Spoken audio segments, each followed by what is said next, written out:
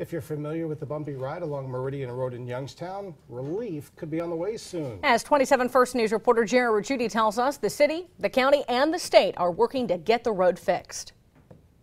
Mahoning County is going to be getting some help from the state to fix a busy stretch of Meridian Road that separates Youngstown and Austintown. This morning, engineer Pat Ginnetti told county commissioners ODOT will provide about $75,000 to help offset the costs of repairing a stretch of Meridian near I 680.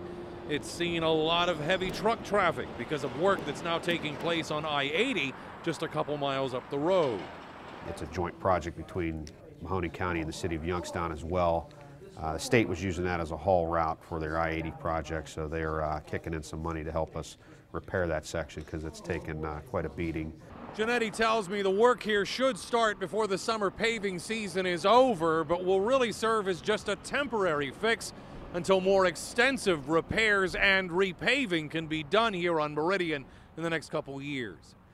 In Youngstown, Jerry Ricciuti, WKBN 27 First News.